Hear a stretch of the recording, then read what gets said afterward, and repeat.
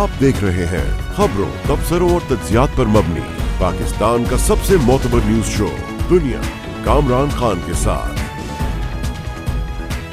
अस्सलाम वालेकुम मैं हूँ कामरान खान। पाकिस्तान आज जिस सियासी और माशी अदब इसकाम और कानूनी खलफशार में मुबतला है, मुल्क को इस बहरान से निकालना किसी एक शख्स, किसी एक इदारे या किसी एक सियासी जमात की बस की बात नहीं। पहले कौम मुतहद हो, फिर तरक्की और खुशहाली की इब्तदा होगी और इसके लिए एक ग्रैंड नेशनल डायलॉग की ज़रूरत है। जिसमें न सिर्फ़ हुकूमत और अपोजिशन के सियासतदान, बल्कि फ़ौज और अदलिया और शायद बिज़नेस कम्यूनिटी की भी शमूलियत लाजम होगी। कौमी मफाहमत के लिए एक ऐसा माहौल बनाया जाना ज़रूरी है, जिसमें तमाम स्टेक होल्डर्स एक कमरे में एक मेज़ पर बैठें और पाकिस्तान बचाओ दस्तावेज़ पर सौ फ़ीसद मुतहद होकर बाहर निकलें। अगर इसके लिए आइन और कानून को नया जन्म देना दरकार है तो ये भी कर लें। इसमें भी कोई मजाक़ा नहीं है।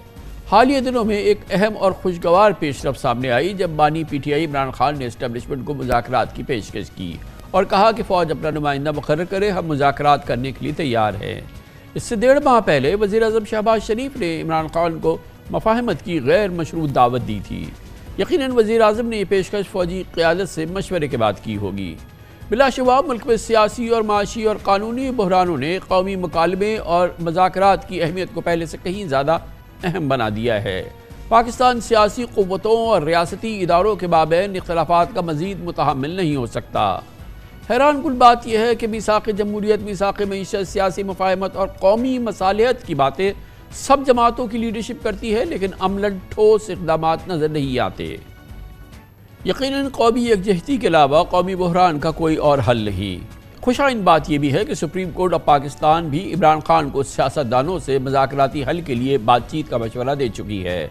नैब कानून में तरामीम के केस की समात के दौरान भी चीफ जस्टिस काजी फायदीसा और इमरान खान के दरमियान वीडियो लिंक पर तारीखी मुकालमा हुआ था और चीफ जस्टिस ने रिमार्क्स दिए थे कि डायलॉग से कई चीज़ों का हल निकल सकता है। इमरान खान ने शिकायत की थी कि पाकिस्तान में गैर एलानिया मार्शल लॉ लगा हुआ है इस पर जस्टिस जमाल मंदोखेल ने कहा था कि हालात अगर इतने ख़तरनाक है तो मामला सियासतदानों के साथ बैठ कर हल करें। उनका कहना था, जब आग लगी हो तो ये नहीं देखते कि कोई पाक है या नापाक, बल्कि पहले मिलकर आग बुझाते हैं। जस्टिस जमाल मंदुखेल ने मुतलबे किया था कि मुल्क को कुछ हुआ तो अदलिया नहीं, सियासतदान जिम्मेदार होंगे। मुझे इंटरव्यूज़ में माया नाज, दानश्वरों और सियासी तजियाकारों ने ग्रैंड नेशनल डायलॉग को हुई मुल्क में सियासी और माशी चैलेंजेस का वाहिद हल करार दिया था। दरअसल म्याना रवि और कौमी इतफाक़ राय के ज़रिए ही मुल्क को बहरानों से निकाला जा सकता है। पाकिस्तान के बारूजी हालात में सदर आसिफ जदारी वजी अजम शहबाज शरीफ की लीडरशिप, कौमी मफाहमत के लिए एक उम्मीद अफजा पार्टनरशिप भी हो सकती है। बहुत अहम मौजू है, कौमी नेशनल डायलॉग उस पर बात करते हैं, इसके दाई हैं जनाब शाहिद खान अब्बासी, सबक वज़ी अजम जो कि इस वक्त हमारे साथ मौजूद हैं। बहुत बहुत शुक्रिया। अब भाई साहब, ये फरमाइएगा, ये बात तो तय है कि पाकिस्तान में कौमी मफाहमत ग्रैंड नेशनल डायलॉग तमाम फरीक़ैन के दरमियान बातचीत ही पाकिस्तान के मौजूदा तमाम बहरानों का हल फराहम कर सकता है। क्या मेकेनिज़म और रोड मैप इसका हो सकता है कि ये फरीक एक जगह बैठ जाए? कमरान भाई, ये जो आपने लफ्ज़ इस्तेमाल किया है फरीकैन, ये बात सारी यहाँ पे है कि इस मामले में फरीक नहीं हो सकते हम सारे। ये हम एक ही तरफ़ हैं और मसला मुल्क है कि हमने मुल्क के हालात कैसे दुरुस्त करने हैं।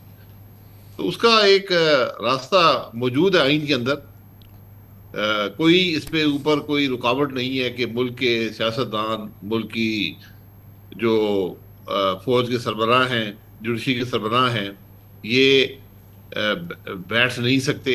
इनको बैठना पड़ेगा क्योंकि और कोई रास्ता है नहीं।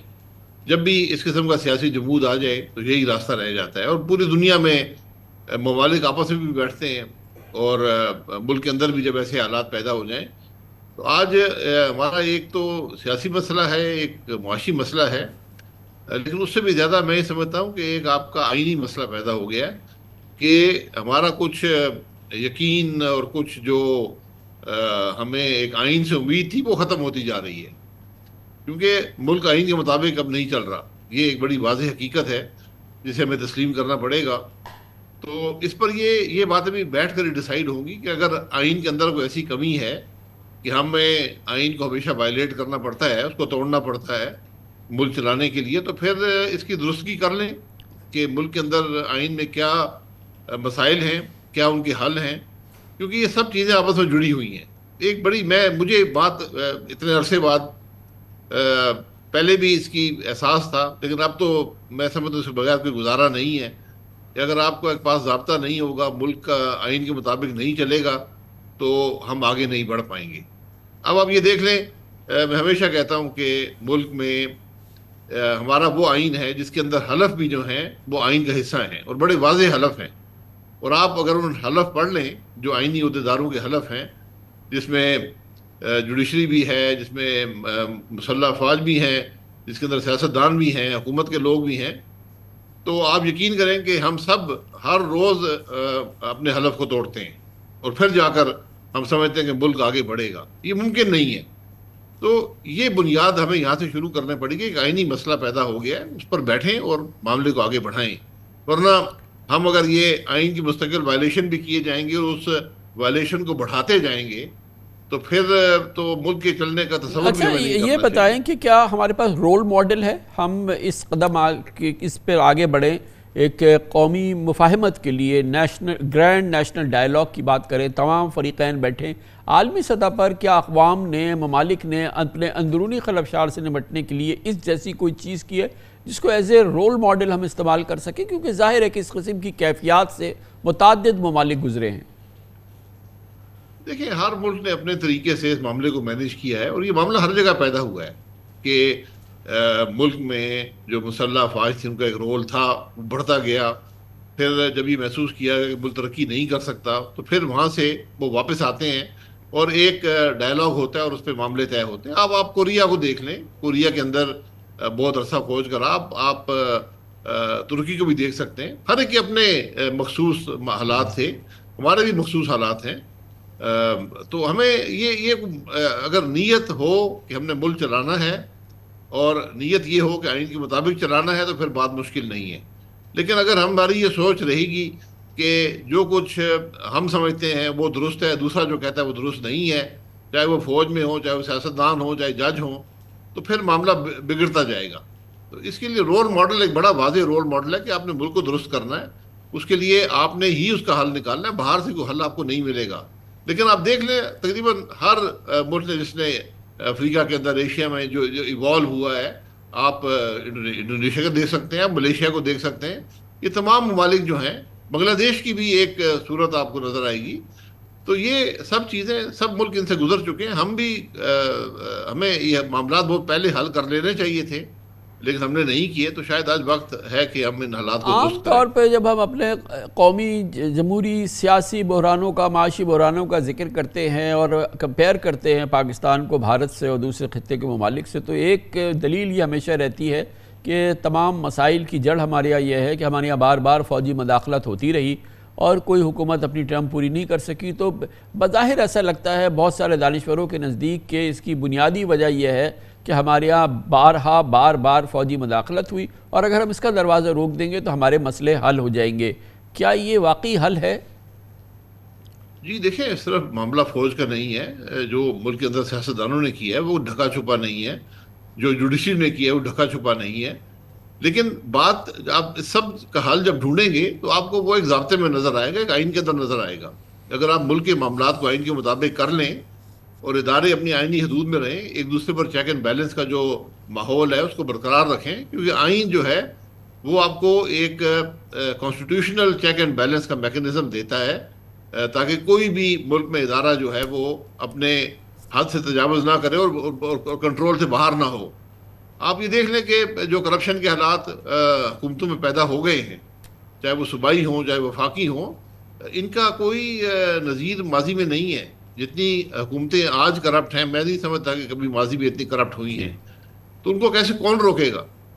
तो हम फिर उसके ये मुख्तलिफ़ हल ढूंढते हैं, कभी नैब बना लेते हैं, कभी हम एक्स्ट्रा कॉन्स्टिट्यूशनल मेजर्स पे आ जाते हैं कभी जुडिशरी भी उसके अंदर हिस्सेदार बन जाती है। तो इस तरह तो मामला नहीं चल सकते। ये अपने आइन के अंदर ये सब कुछ देना है और जो सियासतदान हैं, उनको ज़िम्मेदारी से काम करना है। अगर आज सियासतदान इस सारे मामले में हिस्सेदार ना बने तो फिर मुल्क के मामला दुरुस्त हो सकते हैं। फिर आपको टेबल पर बैठना पड़ेगा। लेकिन अगर इकतदार के लालच में हम भी एक गैर आइनी अमल का हिस्सा बन जाएँ तो फिर खराबियाँ तो पैदा होती रहेंगी और ये मामला इसका हल कभी नहीं निकल पाएगा। आज यही हल है। कि एक तो टेबल पर बैठे और हल ढूंढे इसका। अच्छा, बात तो करें ना आपस में। अब्बास साहब ये जो माहरीन हैं जो निगोशिएशन स्किल्स के और जो इस किस्म की मामला के माहरीन हैं आलमी माहरीन भी उनका ख्याल ये है कि जितने कम लोग बैठे होंगे उतना आसान होगा किसी नतीजे पे पहुँचने के लिए। तो हमारे जैसे ये मामला हैं हमारे तमाम स्टेक होल्डर्स बैठे हो तो हम एक जम गफ़ीर तो मेरे ख्याल में अफोर्ड नहीं कर सकते। क्या तरीक़ाकार हो जो एक मेज़ में और एक एक कमरे के अंदर लोग बैठे, कितने, कौन फ़रीक़ैन हों फ़ौज के सरबरा हो सकते हैं, ज़ाहिर के प्रेसिडेंट ऑफ़ पाकिस्तान हो सकते हैं फ़ौज के सरबरा हों चीफ जस्टिस ऑफ़ पाकिस्तान हों वज़ी अजम हो, और ये चार पाँच जो बड़ी कलीदी जमातें हैं, इनके लीडर्स हों, कोई बारह, चौदह लोग या आठ, दस लोग से आपका क्या ख्याल है कि अगर ये कंसेंसस पे पहुँच जाए तो बहुत बड़ा ब्रेक थ्रू हो जाएगा? जी, यही, इस, ये, यही तरीका है। ये कोई जम्मे गफीर नहीं है, जो आपने नाम लिए अहदेदार लिए हैं, यही लोग हैं। एक आठ, सात, आठ लोग बनेंगे, ज़्यादा लोग नहीं हैं। और अगर सात, आठ लोग भी आज मुल्क में इकट्ठे नहीं बैठ सकते, और ज़िम्मेदार लोग हैं, ये कोई मामूली लोग नहीं हैं, इन सब के पास आइनी होते हैं, रहे हैं इनकी एक फॉलोइंग है मुल्क के अंदर। अगर ये भी आज नहीं बैठेंगे, पर कब, कौन बैठेगा और कैसे बैठेगा? तो ये बहुत बड़ी ज़िम्मेदारी है आज इन अफराद की कि बैठें और हल ढूंढें। बैठने के अलावा हल नहीं मिलेगा। अगर मैं अपने तौर पर बात करता रहूँ आप अपने तौर पर बात करते रहें और जुडिशरी कुछ और करती रहे फौज कुछ और करती रहे सिविल गवर्नमेंट कुछ और कर, करे सियासतदान कुछ और करते रहें और इकतदार इख्तियार किसी और के हों ज़िम्मेदारी किसी और की हो ये मामला कभी नहीं चल सकते। इसलिए ये सात आठ लोग आज जब मुल्क की आवाम को बैठे हुए नज़र आएँगे, आप यकीन करें उस दिन से मुल्क बदलना शुरू हो जाएगा, लेकिन नेक नीयती से। और अपने अपने जो आपके मामला हैं, जो आपके इख्तियार आपने आइन ने दिए हैं या नहीं दिए, जो आप एक्सरसाइज कर रहे हैं, उनको ज़रा एक तरफ़ रख कर बैठें और आगे का हल ढूंढें कि हल क्या है मुल्क का। और बुनियादी फैसले वहाँ से करें और फिर उनको जब ये सब बैठेंगे तो पाकिस्तान के अवाम की जो रिप्रेजेंटेशन भी वहीं पर हो जाएगी। ये नहीं कि ये बात कोई आइन से बाहर है या अवाम की नुमाइंदगी से बाहर है। ये सब कुछ वहीं पर मौजूद होगा और वहाँ से हल निकलेगा। ये बाज़ाहिर तो बड़ी आसान बात नज़र आती है, लेकिन जो हमारी एक अना का मसला है हम सब का, ये ये नहीं कि सिर्फ़ सियासतदानों का है, सबकी अना का मसला बना हुआ है। इससे ज़रा बाहर निकलना पड़ेगा। वैसे इस, निकलना इस, पड़ेगा। इस किस्म की अगर कोई तारीखी नशस्त हो जाए तो इसकी टर्म्स ऑफ़ रेफरेंस और इसका एजेंडा तो मुख्तसर ही होना चाहिए ना। क्योंकि अगर हम सही तरह से टर्म्स ऑफ़ रेफरेंस बना लें उसका एजेंडा पॉइंटेड रख ले तो फिर तमाम चीज़ों का आसानी से हल हल निकल सकता है ना। एक कॉम्पोजिट हल मिल सकता है हमें। अगर टर्म्स ऑफ़ रेफरेंस और एजेंडा हमारा पॉइंटेड हो और बहुत अच्छी तरह से सिलेक्ट किया जाए। देखिए कमरान भाई ये बड़ा वसी एजेंडा होगा। क्योंकि आप कोई ऐसे भी दो चार मामला नहीं है जिनको दुरुस्त करेंगे तो मामला ठीक होता, होना शुरू हो जाएगा। हमारी जो जवाल है, हमारी जो खराबियाँ हैं, वो इस हद तक हो चुकी हैं कि आज हमारा मुकम्मल हुकूमत जो चलने का निज़ाम है, जो माशी निज़ाम है, ये इसको आपको मुकम्मल तौर पर बदलना होगा। आप गवर्नेंस का निज़ाम देख लें, आप हमारी रेवेन्यू का निज़ाम देख लें आप किसी भी मुल्क के अंदर किसी निज़ाम को आप उस पर उंगली रखें, आपको उसके अंदर बेपनाह खराबी नज़र आएगी और उसको मुकम्मल तौर पर बदलने की ज़रूरत नज़र आएगी। तो ये एक काफ़ी वसी एजेंडा बन जाएगा और इस पर बैठ कर ये सब हजरात फैसला कर लें और फिर एक हुकूमत बन जाए जिसको नेशनल गवर्नमेंट कहें, कोलेशन गवर्नमेंट कहें, जो भी कहें, एक यूनिटी गवर्नमेंट कह लें उसको एक मैंडेट दें कि जो भी आपने एजेंडा तय किया है, तीन साल का, दो साल का, पाँच साल का उसको वो वो अरसा पूरा करे और इसमें सब शरीक हों और फिर जमहूरियत जो है वो वापस अपने कदमों पर खड़ी होगी। बहुत बहुत शुक्रिया बहुत शुक्रिया जनाब शाहिद खा खान अब्बासी, सबक वजी अजम पाकिस्तान हमारे साथ थे। बहुत मौजू राय, बहुत इंपॉर्टेंट टॉपिक बहुत इंपॉर्टेंट पाकिस्तान की ज़रूरत है। सियासी नुक़ निगाह से, सबक वजी अजम की नुक़ निगाह से हमने गुफ्तु सुनी पाकिस्तान के तजुर्बेकार ऑब्ज़र्वर्स दानश्वर, इस मामले को किस तरीके से देखते हैं और इसके हसूल के लिए उनके जहन में क्या बात है कि पाकिस्तान में एक कौमी मुफाहमत हो जाए बिलाकर इस पर बात करेंगे एक छोटे से वक्फे के बाद।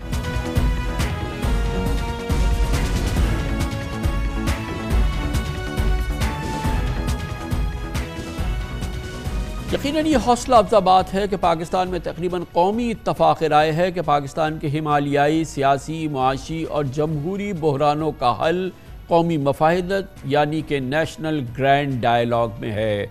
इसी मौजू पर अभी आपने सबक वजी अजम जनाब शाहिद खान अब्बासी के तफसली आरा सुनी। अब इसका हम मज़ीद इंडिपेंडेंट तजिया हासिल करते हैं इसके प्रॉस्पेक्ट्स पे और इसके रास्ते की रुकावटों को और कैसे ये मुमकिन बनाया जा सकता है। इसका जायज़ा लेते हैं। इसके लिए हमने पाकिस्तान के दो इंतहाई सीनियर मोतबर सहाफ़ी न्यूज़ एनलिस्ट और अपनी आज़ाद सोच रखने वाले दानश्वर, मोहतरमा नसीम जहरा और जनाब फ़हद हुसैन को दावत दी है। बहुत बहुत शुक्रिया। नसीम जहरा साहबा, ये बताइएगा कि ये तो अब हमारे यहाँ कम अज़ कम कंसेंसस तो है कि हमें अब ग्रैंड नेशनल डायलॉग करना होगा, हर पॉलिटिकल पार्टी ये बात करती है। ये क्यों मुमकिन नहीं हो रहे और इसके रास्ते की आपके ख्याल में सबसे बड़ी रुकावट क्या है? जी, मेरा ख्याल है कि ये बात आपकी बिल्कुल दुरुस्त है। बिज़नेस कम्युनिटी को ले लें, आप सहाफ़ियों को ले लें, आप लोगों को ले लें, आप थिंक टैंक्स को ले लें, आप आम, आवाम से बात करें। तो यही एक सोच है यकीनी तौर पे। और सच तो ये है कि अगर हकूमती जमात के लोगों से आप बात करें ऑफ़ स्क्रीन ऑफ़ कैमरा तो वो भी किसी हद तक ये मानते हैं। लेकिन मेरा ख्याल है जो आपने फरमाया ना कि दिक्कत क्या है उसमें रुकावट क्या है तो रुकावट तो सबसे बड़ी आ, मेरा ख्याल है यही है कि हकूमत को has to take the first step हुकूमत और इस्टेब्लिशमेंट ने उनको सपोर्ट करना है। तो जो हकूमत में होता है, उसको, या जो पोजीशन ऑफ़ पावर और अथॉरिटी में होता है, उसको इनिशिएटिव लेने की ज़रूरत है।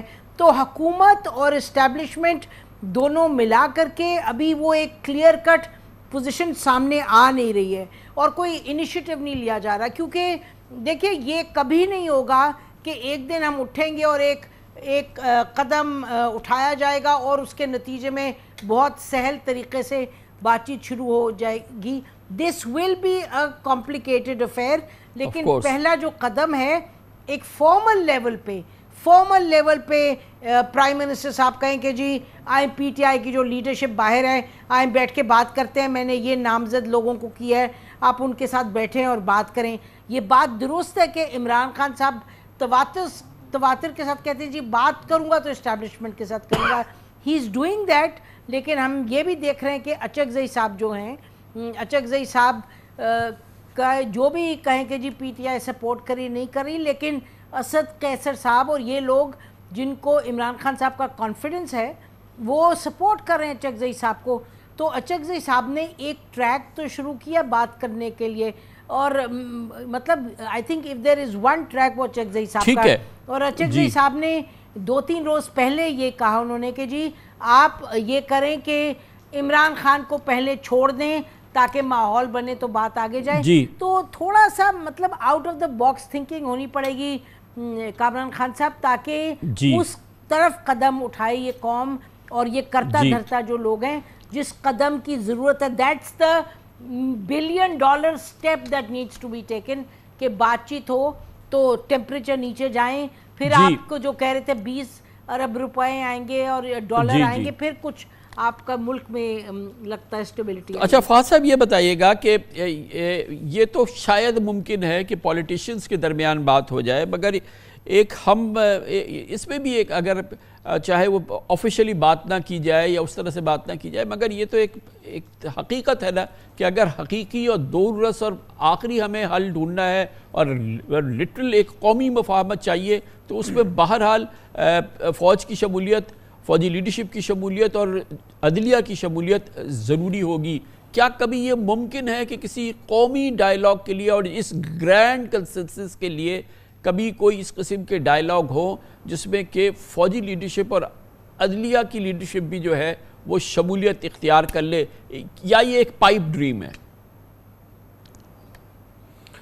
शुक्रिया कामरान साहब, देखिए, मेरे ख्याल में जो जो इसके पीछे जो लॉजिक है, वो तो वो तो बिल्कुल साउंड है। क्योंकि इस वक्त अगर पाकिस्तान में किसी भी तरीके से सियासी सूरत हाल को बेहतर करना है और मुल्क में कम अज़ कम एक सर्टन लेवल ऑफ़ हम हम आंगी लानी है तो उसमें सियासी जमातों के साथ साथ जो की स्टेक होल्डर्स हैं इस्टबलिशमेंट और और जुडिशरी दोनों, उनको शामिल करना है। लेकिन इशू ये है कि देखिए फॉर्मली अगर कोई फॉर्मल डायलॉग करना है तो उसमें तो ये पॉसिबल नहीं है। यानी ये तो नहीं हो सकता कि आप एक कॉन्फ्रेंस बुलाएँ और उसमें एक गोल मेज़ हो और उस गोल मेज़ में तमाम सियासी क्यादत बैठी हुई है और साथ ही जज साहिबान भी बैठे हैं और फौजी क्यादत भी बैठी है। ये तो पॉसिबल ही नहीं है, यानी कि कॉन्स्टिट्यूशनली भी इस तरह का फॉर्मली तो नहीं हो सकता। हाँ इनफॉर्मली जब तक ये तमाम स्टेक होल्डर्स इन्वॉल्व नहीं होंगे, तब तक उस तरह का एक सर्टन लूज कंसेंसस नहीं बनेगा जिसकी हमें ज़रूरत है। लेकिन मेरे ख्याल में कामरान साहब उससे पहले एक और पेचीदगी है। वो ये है कि हम जब ग्रैंड नेशनल डायलॉग की बात करते हैं तो उससे पहले इस, इससे भी पहले कि कोई पहल करे उसके लिए ग्राउंड बनाना ज़रूरी है। और वो ग्राउंड अभी अगर बनना है तो उसके लिए सिर्फ़ इतना कंसेंसस होना पड़ेगा कि तमाम लोग कुछ कोशिश कर, करना चाहते हैं कि मामला डायलॉग की तरफ़ बढ़ें। और उसमें जो लो हैंगिंग फ्रूट है वो मेरे ख्याल में हम सबके सामने है। यानी मे नाइन की एक्नॉलेजमेंट किसी भी तरीके से पीटीआई से ये मैं नहीं कह रहा कि वो माफ़ी मांगे लेकिन कुछ एक्नॉलेजमेंट उन्हें अपने आप को कुछ फ्लेक्सिबिलिटी देनी पड़ेगी। इस्टेब्लिशमेंट को कुछ लोगों को जो जेलों में बंद है रिहा करना पड़ेगा। पहले एक माहौल बनाना पड़ेगा उसके बाद डायलॉग की बात होगी। मेरे ख्याल में अभी वो माहौल ही नहीं है कि डायलॉग की बात की जाए। तो जहरा साहब, एक बात भी, एक और चीज़ भी सामने आ चुकी है कि हम हर वक्त बात करते हैं आइन की पासदारी की और आइन पे अमल दरामद की, मगर ये बात भी बार बार सामने आती है कि इसमें भी बहुत सारी शायद वीकनेसेस हैं या बहुत सारी ऐसी अब इम्प्रूवमेंट्स हैं जिसकी ज़रूरत है, गोया कि हमें आइन को भी रिविज़िट करने की ज़रूरत है, चाहे अठारहवीं तरमीम हो, चाहे एन हो और दूसरे तमाम मामलात और फिर उसके साथ जो फ़ौजी मदाखलत के मामला हैं, जो अदालत के साथ मुसलसल शिकायत, किसी को फ़ौज से शदीद शिकायत, किसी को अदालतों से फौरी शिकायत, और अभी फाज साहब कह रहे थे कि ये नामुमकिन है कि वो इसमें शामिल हों। और तो अगर हम किसी out of the box solution के लिए जा रहे हैं तो क्यों नामुमकिन है कि फ़ौज और अदलिया और तमाम सियासी क़वतें एक साथ बैठ जाएँ और पाकिस्तान की खातिर जो है, हर चीज़ को अलग रख, एक इसका हल सामने ले आए। देखिए जहाँ तक आइन का ताल्लुक है आप जानते हैं डेमोक्रेटिक जो ममालिक हैं चाहे आप अमेरिका को ले लें चाहे आप इंडिया को ले लें जहाँ के they go by the constitution वहाँ सौ नहीं तो दर्जनों अमेंडमेंट्स हैं। There are hundreds of amendments constitution में तो अमेंडमेंट्स आती है ना कोई हतमी डॉक्यूमेंट तो नहीं होता कामरान खान साहब एज़ सिचुएशंस कम अप उसमें अमेंडमेंट आती है तो ये तो नहीं होगा कि आज हम कहें जी ये आइन है चले अब इसमें 200 अमेंडमेंट्स ले आएँ। क्योंकि 200 चीज़ें तो जब आएँगी सामने तो आपको अमेंडमेंट लानी पड़ेगी। मसलन अब आपने देखा जब पंजाब और इसकी लड़ाई हो रही थी फेडरल गवर्नमेंट की तो आप देख रहे थे कि वो गवर्नर का एक रोल था, वो अपने रोल को किस तरीके से इंटरप्रेट कर रहे थे। प्रेसिडेंट किस तरीके से इंटरप्रेट कर रहे थे तो वहाँ जो क्लैरिटी लाने की ज़रूरत है और अमेंडमेंट्स लाने की ज़रूरत है so what I am saying is के एज थिंग्स हैपन आप इस तरह अमेंडमेंट्स लाते हैं। तो वो तो जब मिल के बैठेंगे पार्लियामान में, जब ये अमेंडमेंट होगी, ना कोई डंडे से अमेंडमेंट ला सकता है और ना कोई माइनॉरिटी गवर्नमेंट ला सकती है। टू थर्ड्स का रूल है, उसी पर बात बढ़ेगी। जहाँ तक बैठ के स्टेक होल्डर्स बात करें मेरा ख्याल है, सच अगर हम बोलें तो सच तो ये है कि फ़ौज जो जो टॉप कमांड जिस दिन मानेगी कि जी किससे बात करनी है अच्छा पीटीआई की, मुझे लगता है कि अगर if the ice has to be broken और ये जो लॉक जैम है उसको ख़त्म करना है तो फिर पीटीआई और फौज को कुछ कुछ कदम पीछे हट करके एक माहौल करके तो बात करनी है। जब नवाज़ शरीफ साहब के बारे में कहा गया था हम बहुत से लोगों को कि जी तो ख़त्म है, ये तो forever they are now a big big crossover their names ना कि नवाज़ शरीफ साहब पे, शबाज शरीफ साहब पे भी। तो उस वक्त फिर बदला ना वो जो क्रॉस था, और किसने बदला? ये तो नहीं था कोई राउंड टेबल हुई और बैठे सारे लोग। ये हुआ कि जी, फौज जिसने उस वक्त ये तय किया था, उसके बाद आपको मालूम है how everything was put into a reverse gear तो अब भी वही होगा तो जब हम बात कर रहे हैं इस वक्त के स्टेक होल्डर्स तो हम क्यों हम कर रहे हैं? हम इसलिए कर रहे हैं क्योंकि जब आप देखें तो अदलिया की तरफ़ से कहा जाता है, अब कौन सी जजमेंट है जो आती है जिसमें लोग कहें अच्छा जी लेट सी बाय लॉ ये क्या था, क्या नहीं था? फ़ौरन ये होता है अच्छा जी, ये पी पीटीआई के जजेस ये पीएमएलएन के जजेस ये उसके जजेस तो ये तो माहौल जो है, ये तो जब कहीं एक सीज फायर होगा तो फिर ये बात बनेगी। तो मुझे लगता है starting point has to be ceasefire दूसरा ये कि नवाज़ शरीफ साहब जब आए थे तो उस वक्त बहुत बड़ा सवाल था। हम जैसे लोग करते थे कि जी क्या नवाज़ शरीफ साहब पॉलिटिशियन वापस लौट रहे हैं या कोई स्टेट्समैन वापस लौट रहे हैं? क्योंकि एक तरफ़ फौज और पीटीआई का जो सीज फायर है वो होना लाजमी है और दोनों तरफ़ कंसर्न और शिकायत हैं जो सेटल होने की ज़रूरत है। और दूसरी तरफ़ पॉलिटिशियंस जी। जी अजीब बिल्कुल ठीक है आपका पॉइंट मैंने बिल्कुल समझ लिया। फाज साहब, ये बताइएगा कि ये हमारे नॉर्मल पॉलिटिकल इश्यूज़ नहीं हैं। ये कि पीटीआई से बात हो, चले, वो भी एक एक्स्ट्रॉडनरी बात है कि फ़ौज के साथ उनकी गुफ्तु हो जाए। लेकिन हम जिन क्राइसिस से दो चार है, वो शायद बहुत कम अकवाम की किस्मत में, यहाँ पर अगर आप देखें अदालती मामला में एक अदम अतमाद की बदतरीन सूरत हाल है from top to bottom supreme court का फैसला आ जाए या नीचे जो लोअर जुडिशरी के अंदर जो हालात होते हैं कौम का कहीं पे भी उस हवाले से मुतफिक नज़र नहीं आती। हालिया दो तीन सालों के अंदर जो मुकदस तरीन हमारा यह एक बहुत ही मुकदम बहुत ही इम्पोर्टेंट हमारा इदारा जो हमारे लिए, ज़ाहिर है कि हमारी सर्वाइवल है, हमारी सिक्योरिटी की वो सेंटर ऑफ़ ग्रेविटी है। उसके हवाले से भी इस कदर बदगुमानियाँ पैदा की गई या किया गया कि हमें तो ये ये बहुत बड़े चैलेंजेस हैं जिनको अबूर करना है और इस एतबाद को पहले हल करना है। तो इसके लिए कॉम्पोजिट ही हल हो सकता है ना? ये पीस मिल बेसिस पे तो शायद ये हल नहीं हो पाएँगे मामला कमरान साहब, देखिए अल्टीमेटली अगर हमें उस तरह की स्टेबिलिटी चाहिए जिसकी बुनियाद पर जो है वो पाकिस्तान में जो इकतसादी तरक्की है वो हो पाए तो उसके लिए तो बिल्कुल आप दुरुस्त कह रहे हैं कि एक कॉम्पोजिट किस्म का सेटलमेंट होनी पड़ेगी लेकिन उस कॉम्पोजिट सेटलमेंट के लिए कहीं ना कहीं तो हमने शुरू करना है। मेरे ख्याल में इस वक्त जो हमारे लिए सबसे बड़ा इशू है वो ये है कि ये कि, कि तमाम जो स्टेक होल्डर्स हैं उनमें ये रियलाइजेशन नहीं है कि उन्हें अल्टीमेटली साथ मिलकर इस प्रॉब्लम का सोल्यूशन ढूंढना पड़ेगा। इस वक्त हम उस स्टेज पर खड़े हैं जहाँ पे फरीकैन समझते हैं कि वो दूसरे को मात दे सकते हैं, वो दूसरे को गिरा सकते हैं। और जब वो दूसरे को गिरा देंगे, उसके बाद जो है वो मुजाकर का सिलसिला शुरू होगा ताकि negotiating from a position of strength हो पाए।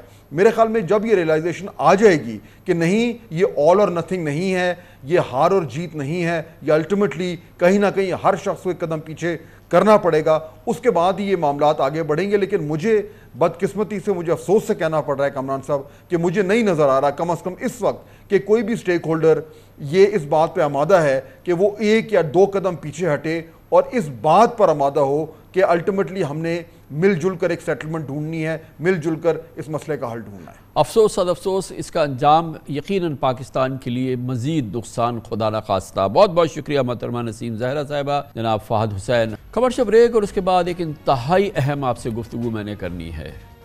आप मेरे साथ रहिएगा।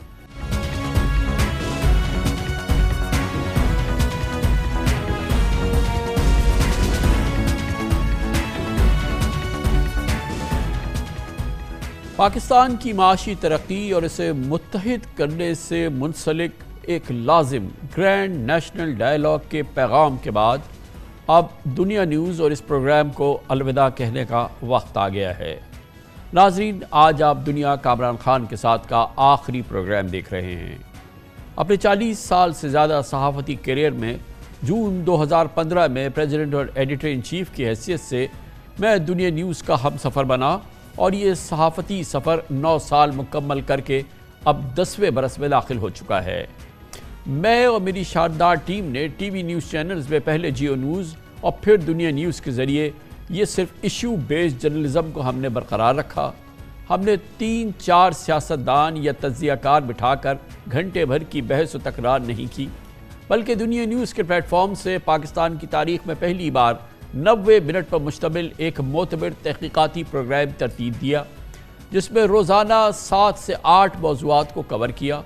और आज इस अलविदाई प्रोग्राम तक मुझे इस बात पर फ़ख्र है कि दुनिया न्यूज़ में अपने तीन हज़ार से जायद शोज़ में मैंने पूरी आज़ादी और पेशा वाराना ज़िम्मेदारियों के साथ ये शोज़ मुरतब किए। अल्हम्दुलिल्लाह।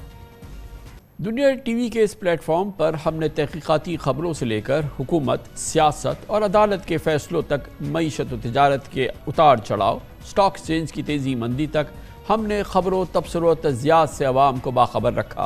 आलमी मंजरनामे में लम्हा बलम्हा तब्दील होते हुए बैन अवी ताल्लुक को रोज़ाना की बुनियाद पर कावर किया।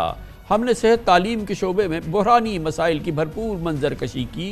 खेल के मैदानों का अहाता किया एनर्जी सेक्टर में हुकूमती बेजाबतगी और उसका हल तलाश करने की कोशिश की और मुल्क भर में और खसूस सिंध में गज़ब करप्शन की अनगिनत दास्तानों का पर्दा चाक किया।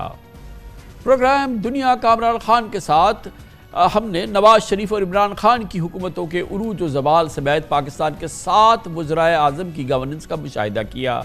हमने नवाज़ शरीफ, शाहिद खा खाल अब्बासी जस्टिस नाजरुल मुल्क, इमरान खान, शहबाज शरीफ अनवर काकड़ के अदबार पर गहरी नज़र रखी और आज इलबदाई प्रोग्राम तक दूसरे शहबाज शरीफ दौर की कमज़ोरियाँ, बीमारियों और जहाँ कहीं भी अच्छाई है, उस पर भी हमारी निगाह मरकूज रही। इस अरसे में 2018 से और 2024 के इंतबात की घंटों तवील स्पेशल ट्रांसमिशन को हमने यादगार बना दिया। आज इस इदारे से रुख्सत होते वक्त मैं दुनिया मीडिया ग्रुप के चेयरमैन और चीफ एग्जीक्यूटिव या आमिर महमूद और इदारे की इंतज़ामिया का बेहद शुक्रगुजार हूँ। इन्होंने दामे वर में सुखने मेरी हौसला अफजाई की मौजूद के चुनाव और सहाफ़ती ज़िम्मेदारियों की आज़ादाना अदायगी में कभी भी मुदाखलत नहीं की, बल्कि कदम ब कदम मेरी मावनत की। इंतज़ामी मामला में दुनिया न्यूज़ के मैनेजिंग डायरेक्टर नवीद काशिफ साहब ने मेरी गुजारिशात पर लम्हा ब लम्हा अमल किया और इन नौ सालों को यादगार बना दिया। अपनी ज़िंदगी की इस हसीन तारीख़ी दिन, मोहब्बत के हसीन गोशों में, मैं इस इदारे से वाबस्ता अपने दरीना साथियों का भी बहुत मशगूल हूँ। जिनमें इंतहाई खसूसी तौर पर बरदर मोहतरम और सीनियर तरीन सहाफ़ी मोहतरम मुजीबरहमान शामी हैं। इंतहाई खुशकस्मती से दुनिया न्यूज़ से मुंसलिक सहाफ़ियों, बिलखसूस कामरान शाहिद, सलमान गनी, मसूद रज़ा, साद रसूल और मोहतरम अनीक अहमद की मुझसे मोहब्बत बेमिसाल रही। जबकि फ़ील्ड रिपोर्टिंग में हसन रजा, अदील वड़ाइच, आमिर सईद अब्बासी हमाद आलम और दीगर ने इस प्रोग्राम के लिए दिलो जान और ईमानदारी से ज़बरदस्त रिपोर्टिंग की और इस प्रोग्राम की शनाख्त को यकता बना दिया। अल्हम्दुलिल्लाह, सिंध हुकूमत से मुतल इख्तियार खोकर की तहकीकती रिपोर्टिंग ने इस प्रोग्राम में चार चाँद लगाए। इख्तामी कलमात में सिर्फ़ इतना कहूँगा कि दुनिया भर में मेरे लाखों करोड़ों नाजरीन के साथ मोहब्बत और अतमाद का रिश्ता ही मेरा कीमती असासा है और सरमाया इफ्तार है। मेरा अपने नाजीन से वादा है कि ये रिश्ता कभी नहीं टूटेगा। जल्द एक नए सहाफ़ती सफ़र का आगाज़ कर रहा हूँ, जो मुनफरद भी होगा और पेशा वाराना एतबार से आपकी तो और इन आलमी मैार पर पूरा उतरेगा। इन फिल वक्त दुनिया मीडिया ग्रुप और उससे वाबस्ता अफराद के लिए बेशुमार दुआएँ, नेक तमन्नाएँ। इसके साथ ही कामरान खान को इजाज़त अल्लाह हामी नासिर।